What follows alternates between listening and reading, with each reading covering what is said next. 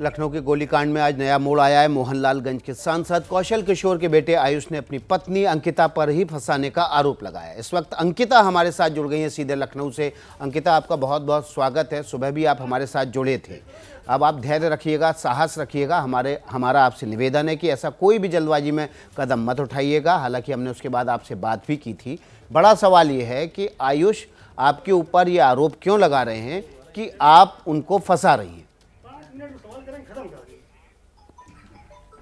जी आयुष ने क्योंकि आयुष ने मुझे धमकी दी थी अगर मैं उसके लिए बयान नहीं दूँगी तो जो है वो मुझे फंसा देगा। और जैसा मैं पहले भी बता चुकी हूँ उसने वही चीज़ें शुरू करी हैं। फंसाना मुझे शुरू करी है क- कर दिया है क्योंकि मैंने उसके लिए बयान नहीं दिया है। नहीं आयुष ने आपको किस तरह से फंसाने की कोशिश की और किस तरह का बयान आपकी तरफ़ से वो चाहते थे? जी वो चाहते थे कि मैं मेरे भाई के खिलाफ जाके ये बयान दूँ कि भाई ने मुझे जब ये वारदात हुई उसके बाद भाई ने आके मुझे धमकाया कि मैं तुमको जान से मार दूँगा। अगर तुमने किसी से बोला ये बात आयुष ने मुझसे कहा कि मैं जाके पुलिस और मीडिया में ये बयान दूँ। तो मैंने ये बयान नहीं दिया जिसके कारण आज ये सारी चीज़ें वो वीडियो बना के मुझे अ, के वायरल कर रहा है भेज रहा है मीडिया को ये सारी चीज़ें इसी लिए कर रहा है क्योंकि मैंने उसके खिलाफ बयान दे दिया। मीडिया में जाके जो कि उसने मुझे धमकी दी थी जो कि मुझे उसने जान से मारने की धमकी दी थी वही चीज़ें मैंने बोल दी जाके। इसीलिए वो आज मुझ पर इल्ज़ाम लगा रहा है। ये बताइए कि आपकी आयुष से कब से बात नहीं हुई? और जब आखिरी बातचीत हुई थी आपकी आयुष के साथ तो उस बातचीत में क्या बातें खुलकर सामने आई थी? जी हाँ मेरी सैटरडे को रात में बात हुई थी आई से। तो उसने मुझसे बोला था पहले मेरी नॉर्मल से बातें हुई वो आ, बोला कि मैं दिल्ली में हूँ पापा की आवाज़ पे हूँ अभी। और आ, क्या कहते हैं मैं सुबह यहाँ से निकल जाऊँगा। दस साढ़े दस बजे तक सुबह अंकल आएँगे मुझे लेकर चले आएँगे। तो अभी जो बातें करनी है छः साढ़े छः बजे तक तुम कर लो क्योंकि उसके बाद मैं चला जाऊँगा। मैंने बोला ठीक है। मेरी उससे बातें स्टार्ट हुई सुभाष अंकल कौन है? जिनके साथ आयुष निकले? बदनामी हो गई है मेरे। जी जी वो आयुष के पापा के जानने वाले हैं। मुझे ज़्यादा जानकारी उसके बारे में नहीं है कि उनके रिश्तेदार हैं या फिर क्या है पर वो जानने में हैं। सुभाष सुमन नाम है उनका। वो आयुष ने बोला कि मैं उनके साथ जाने वाला हूँ कहीं।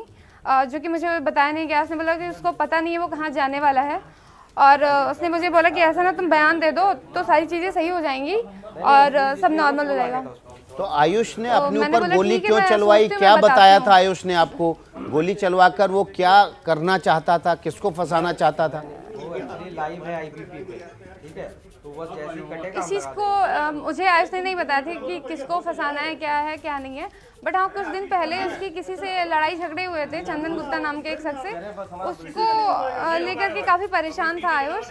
और उसने पापा से भी बात करी थी कि पापा मैं परेशान हूँ चीज़ उसने मुझे जो चंदन गुप्ता उसने जान से मारने की धमकी दी ऐसा आयुष ने मुझसे बोला और पापा से भी यही बात बोली कि उसने मुझसे जान से मारने की धमकी दी है। तो क्या कहते हैं, मुझे कमिश्नर से मिलना है वरना मेरी जान को खतरा है। ये सारी चीज़ें आयुष ने पापा से बोली थी। और उसके दो दिन बाद ये वारदात हो गई जो कि आयुष ने शायद उसको फंसाने के लिए ही ये चीज़ें ये साजिश रची थी कि कि, तीसरा इंसान अगर उसने गलती नहीं करी तो फरार क्यों है? पहली चीज़ उसको पुलिस के सामने आना चाहिए था उसको अपना बयान देना चाहिए था पर उसने बयान ही उल्टा दिया हुआ है कि उसको बाइक सवार गुंडों ने मारा है। फिर दूसरी दूसरा बयान ये है कि उसने गाड़ी अ, सवार गुंडों ने ब्लैक कलर की कोई गाड़ी थी उसने अ, उसने उस पर गोली चलाई है। और तीसरा बयान ये उसने मुझे फिर फंसाने की बात की तीसरा उसका ये बयान है कि मैंने उसके खिलाफ साजिश रची। अगर साजिश रची तो मैं पहले रच चुकी मैं अब क्यों रचती उसके खिलाफ साजिश? तो आपने जब आपकी लंबी बातचीत हुई आयुष से तब आपने उसको क्यों नहीं कहा कि वो पुलिस के सामने आए जो सच है उसे स्वीकार कर ले? अगर वो पुलिस के सामने आ जाएगा तो फिर आप भी बयान दे सकते थे। मैंने जी। हाँ मैंने उससे बोला तो उसने बोला कि पापा की बदनामी बहुत ज़्यादा हो गई है और मैं अभी सामने नहीं आ सकता हूँ क्योंकि मैं जब तक मेरी बेल नहीं होगी तब तक मैं सामने नहीं आ पाऊँगा।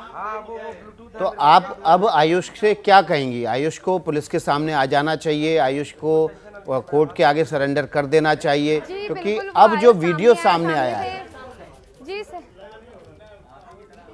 जी आयुष को सामने आना चाहिए उसको सरेंडर करना चाहिए और जो चीज़ें हैं वो क्लियर करे कि आखिर मुझे फंसाने की साजिश क्यों कर रहा है जब मेरी कोई गलती नहीं है जब मैंने कुछ किया नहीं है तो आज मेरे ऊपर आरोप क्यों लगाए जा रहे हैं उसके द्वारा? आपको क्या लग रहा है वो परिवार के दबाव में है आयुष?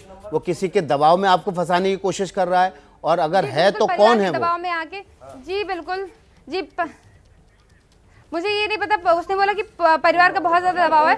उसके घर वालों ने आयुष ने मुझे ये भी बताया कि उसके घर वालों ने ये भी बोला है कि वो आ, आराम से रहे परेशान हो वो उसका सपोर्ट करेंगे अब और उसकी दूसरी शादी भी कराएँगे ये सारी चीज़ें आयुष ने स्वयं बोली मुझसे।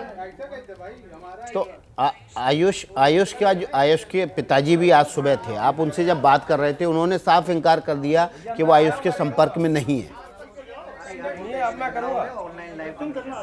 जी हाँ सारे घर भर की कॉल डिटेल निकलवाई अगर बातचीत उनके घर से नहीं हो रही है तो।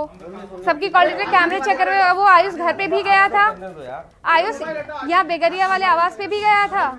जी अंकिता दिल्ली वाले आवास हमारे साथ इस वक्त आयुष के भाई विकास जुड़ गए हैं सीधे विकास का रुख कर लेते हैं। विकास आयुष का जो वीडियो सामने आया है उसमें वो कह रहा है कि उसको साजिश की गई उसको फंसाने की। आदर्श का जो साला है आयुष का उसका कहना है कि गोली आयुष ने खुद चलवाई। आपको कुछ जानकारी है? जी मैंने वीडियो देखा आयुष का। हम्म। जो वीडियो वायरल हुआ है उसमें उसने अपनी जो उसके साथ घटना हुई छह सात महीने से जो उसके साथ हो रहा था उसके साथ जो किया जा रहा था उसने सब कुछ बताया है कि उसके साथ उसको कैसे मारा गया उसको जान से मारने की कोशिश कैसे की गई। वो अगर जो निकलता नहीं तो उसको मार ही देते कौन लोग थे जो मार देते उसने बोला है कि मैं लखनऊ आके मेरा बयान ले और मैं ये सारी बातें सब कुछ बताऊँगा। अब जिस प्रकार आयुष को फंसाने की कोशिश की गई है उसने इसलिए वीडियो वायरल किया और सारी बातें उसने बताई। और आप लोगों को सब लोगों को मेल किया वीडियो उसने। हम लोगों ने भी देखा। लेकिन बात यह है कि जिस प्रकार अगर जो आयुष को मारने की कोशिश की गई है, उसने बताया है तो हम भी ये चाहते हैं कि वो भी आयुष भी ये कहे, उस वीडियो में बोला है कि इनके परिवार वालों के पास जाए, हुजूरपुर जाए, बहराइच में। उनसे भी पूछताछ की जाए कि इनका क्या ऐसा है कि जो आयुष को मारना चाहते थे। वो तो अगर जो निकलता नहीं तो उसके साथ में तो उसकी तो डेथ ही कर देते, अगर जो भागता नहीं वहाँ से, और वो सांसद जी को फ़ोन ना करता जब गोली उसके ऊपर चल गई थी। लेकिन लेकिन आज ये लेकिन जो आयुष ने और इस वक्त अंकिता हमारे साथ आयुष के भाई विकास चाहूँगी आयुष ने जी जी। जी जी जी। आ, मैं बताना चाहूँगी आदर्श के फ़ोन से ही आयुष ने पापा को फ़ोन किया था। तो मेरा भाई फ़ोन क्यों देता उसको? कि पापा को फ़ोन करो वो क्यों लेकर जाता पुलिस स्टेशन उसको? क्यों हॉस्पिटल लेकर जाता? उसको अगर यही सारी चीज़ें करनी थी वो तो रास्ते में कर देता। अगर ये आयुष की साजिश नहीं थी तो तुरंत उसको जवाब देना था जाके बयान देना था कि मैं आज वो जब मैंने उसके खिलाफ बयान दिया तो वो जाके मेरे खिलाफ बयान देने की कोशिश कर मुझे फंसाने की कोशिश कर रहा है। उसको क्या समझ में आ रहा? है कि मुझे फंसाने से मैं फंस जाऊँगी। मेरे पास सारे प्रूफ है जो उसने मुझे मारा जो मुझे उसने धमकाया। जो चीज़ें मेरे साथ हो रही हैं मेरे पास सारे प्रूफ हैं। विकास मैं वीडियो आयुष मैं वीडियो भी मैं सारी चीज़ें शेयर नहीं करना चाहती थी कि अभी जी जी मैं शेयर नहीं करना चाहती थी क्योंकि मैं नहीं चाहती थी उसके घर वालों की बदनामी हो जो मेरी बदनामी इतनी हो चुकी है मेरे घर वालों की बदनामी हो, हो चुकी है इतनी तो मैं भी बिल्कुल भी डरने वाली नहीं हूँ। मैं भी अब सारी चीज़ें करने के लिए लीगल तरीके से करूँगी सारे सबूत रखूँगी फिर देखती हूँ कि आयुष क्या करता है। मुझे फंसाने की कोशिश की जाती है। क्या समझता है वो अपने आप को? कि एक सांसद का बेटा है और विधायक का बेटा है तो जो मर्ज़ी वो करेगा मेरे साथ। आयुष को मानसिक प्रताड़ना की जा रही थी उसके साथ। में जो जो जी किया गया सबूत लेकर के मानसिक प्रताड़ना मेरे साथ हुई है। मानसिक प्रताड़ना मेरे साथ हो रही थी। घर से बाहर नहीं निकलने दिया था। घर से बाहर नहीं मेरा मेरा दरवाज़ा है बाहर जाता तो लॉक लगा के जाता था ताकि मैं घर के बाहर कोई इंसान अगर जो बता रहे हैं घर से निकलता नहीं। कोई इंसान अरे उसने मुझसे बोला था दस मिनट के लिए सिगरेट पीने गया था वो बाहर। सिगरेट पीने के लिए बाहर गया था दस मिनट बोल के कि मैं आदर्श से कुछ बात करनी मैं आ रहा हूँ। खाने में नशा दिया जाता था। उसने खुद बोला है ये खाने में नशा गया था उसने भाँग की गोलियाँ खाई थी। भाँग की गोलियाँ खाता था वो। भाँग की गोलियाँ खाता था। मैं मैंने सारे प्रूफ मीडिया के सामने रखे जो एल्को जी बिल्कुल मैंने अल्कोहल की बॉटल्स रखी। उसको पिलाया नहीं वो खुद पीता था स्वयं पीता था वो।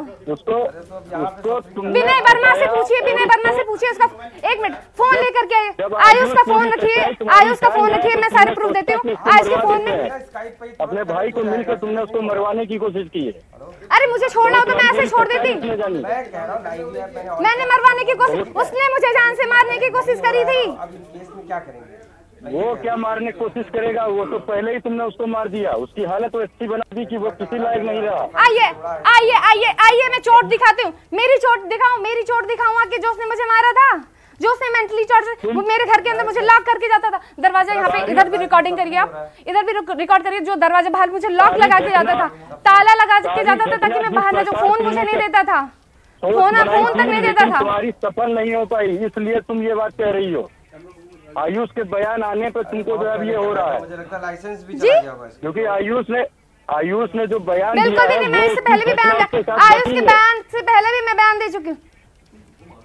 हाँ जी, जी, मैंने उससे पहले भी बयान दे दिया तो था मेरा। उससे पहले भी मैंने तो मेरा बयान दिया। छह महीने में। उसने सब कुछ बताया उसने कुछ नहीं छुपाया।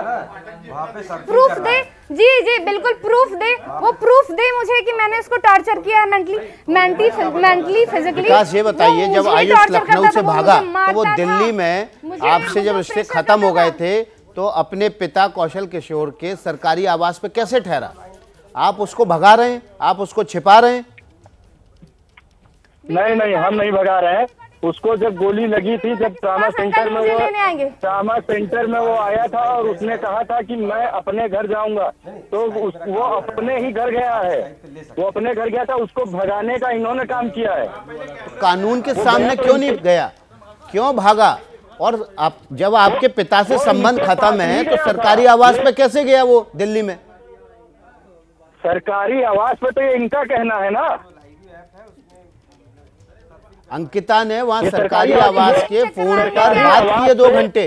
कहना नहीं है उनके पास तो डिजिटल एविडेंस है। वीडियो कहना। रिकॉर्डिंग चेक करवाएँगे आप?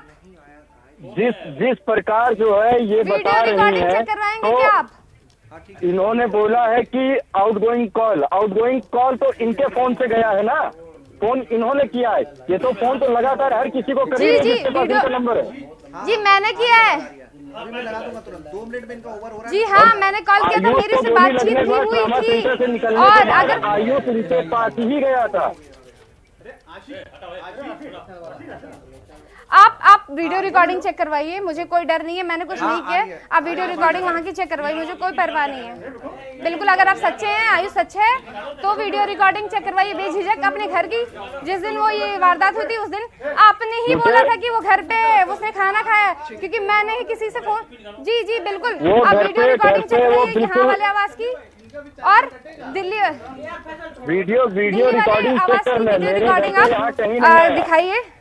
वो आयुष जो है देखिए आया नहीं तो वीडियो रिकॉर्डिंग दिखवाइए। डीसीपी साहब थे उन, उनके सामने उसने आयुष ने बोला था कि मैं वापस जाऊँगा। तुम्हारे पास उसने बोला था वो तुम्हारे ही पास आया था। ये किसका है? ट्रामा सेंटर से डिस्चार्ज करवा के खुद को। इधर इधर इधर। नहीं तो आप ये बताइए कि आयुष ने आपसे संपर्क किया अस्पताल से निकलने के बाद? नहीं नहीं मेरे से कोई संपर्क नहीं हुआ। हम लोगों से कोई संपर्क आपके हुआ नहीं। पिता से संपर्क हुआ है? नहीं नहीं।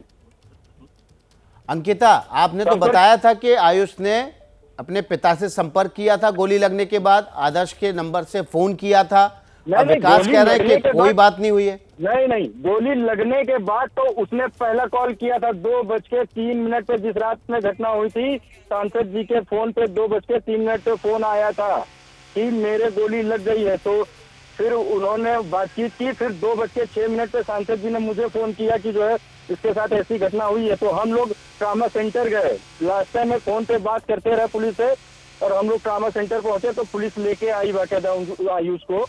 तब उसका जो इलाज करवाया गया तब तक डीसीपी मैडम और सब लोग आ चुके थे सब लोग। अच्छा तो अब आरोप लगा रहे हैं कि अंकिता ने उसको मेंटल टॉर्चर किया। अंकिता उसको अपने आ, बंद करके रखती थी। एक बात बताइए 19 साल का लड़का 20 साल का लड़का जो जिसके पिता सांसद हैं उसको एक लड़की टॉर्चर कर सकती है?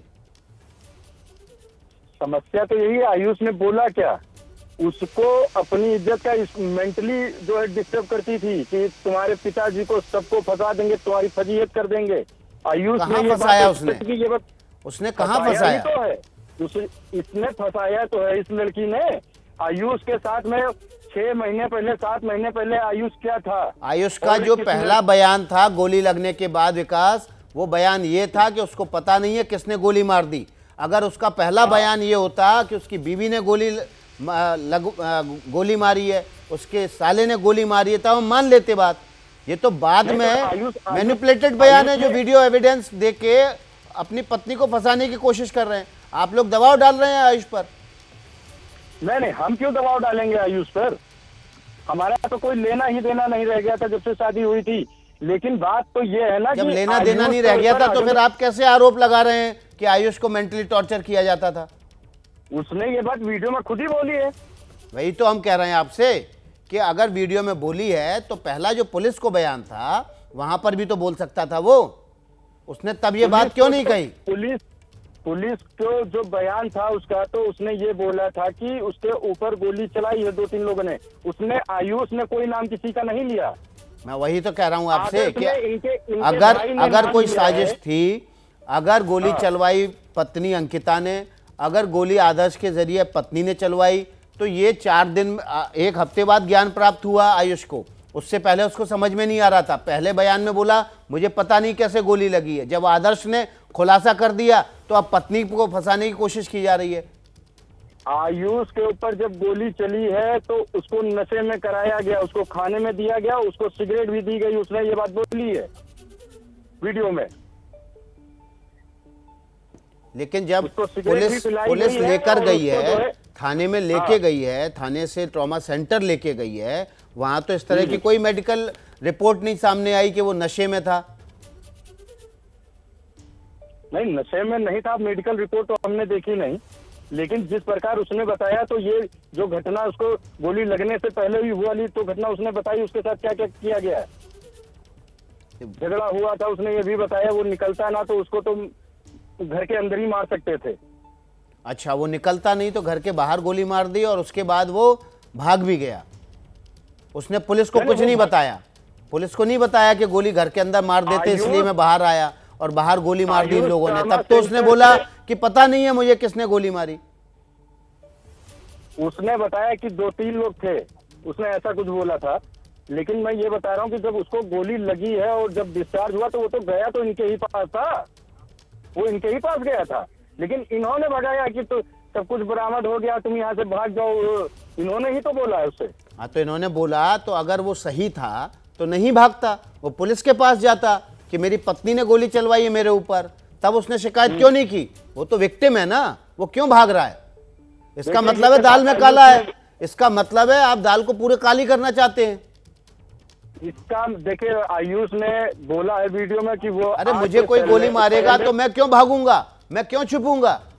मैं तो पुलिस के पास जाऊँगा ना। नहीं तो वीडियो तो मैसेज क्यों जारी करूँगा?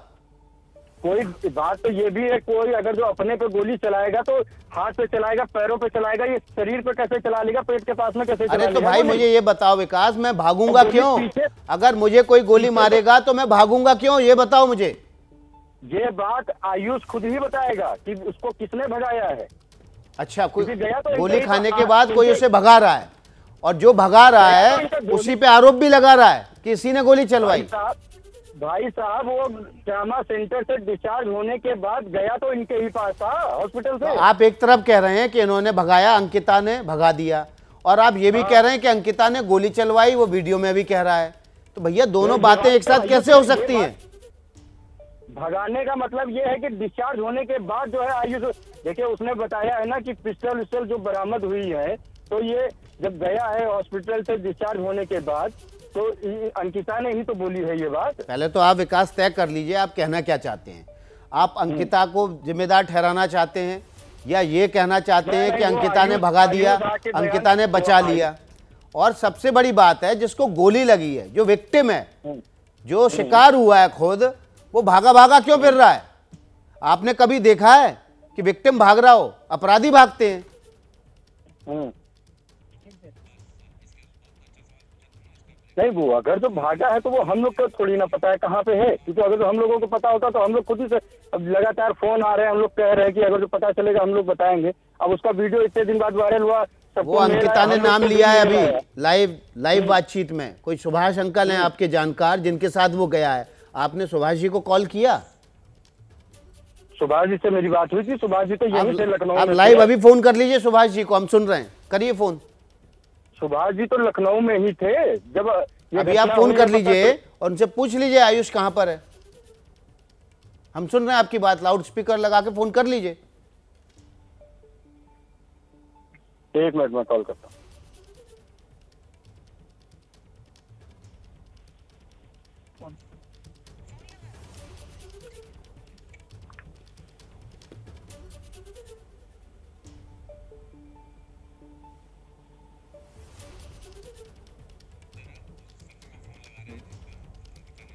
और इस वक्त विकास सिंह जो कि आयुष के भाई हैं उस सुभाष को फ़ोन लगा रहे हैं जिस पर अंकिता ने आरोप लगाए थे कि आयुष लखनऊ से जाने के बाद आवास पर पहुँचा था। दिल्ली में कौशल किशोर के सरकारी आवास पर और वहाँ से वो सुभाष नाम के एक शख्स के साथ निकल गए थे। विकास सिंह का कहना है कि वो सुभाष तो लखनऊ में थे। अब विकास सिंह उन सुभाष को फ़ोन कर रहे हैं और हमें भी वो बात सुनवाएँगे कि आखिर सुभाष कहते क्या हैं। हम ये कोशिश करना चाहते हैं हम ये जानना चाहते हैं कि आखिर आयुष क्यों फरार है? जिस व्यक्ति को गोली लगी है, जो गोली का शिकार हुआ है, जो पुलिस की नज़रों में विक्टिम है, वो आखिर क्यों भागा फिर रहा है? इस सवाल को जानना बहुत ज़रूरी है। भागता अपराधी है, विक्टिम कभी नहीं भागता है। अपराधी अगर भागता है तो समझ में आता है कि उसने अपराध किया है। अगर विक्टिम भी भाग रहा है, कानून की नज़र में जो विक्टिम है अभी तक, जिसको गोली लगी है, जो शिकार है, वो भागा भागा फिर रहा है, इसका मतलब है दाल में कुछ काला है। और अब जो वीडियो आया है आयुष का सामने उसमें आयुष आरोप लगा रहा है कि उसकी पत्नी ने उसको फंसाया है। विरोधाभासी बातें हैं। विकास सिंह फ़ोन लगा क्या सुभाष को? जी जी लगा रहा हूँ। बिज़ी जा रहा है ना। तो आपने कभी कोशिश ही नहीं की जब अंकिता लगातार पिछले कई दिनों से कह रही हैं कि सुभाष नाम के किसी शख्स के साथ गए हैं आयुष तो आपको अपने भाई की बिल्कुल चिंता नहीं है। आपने सुभाष को कभी फ़ोन ही नहीं लगाया? उनको फ़ोन करके नहीं पूछा कि आखिर आयुष को कहाँ लेके गए आप? ये बात तो अंकिता आप बोल रही है ना। ये अंकिता पिछले तीन तो- दिन से बोल रही है। नहीं नहीं वो तो अंकिता पिछले तीन दिन पहले जो बयान आया था ये तो कह रही थी कि दिल्ली में है।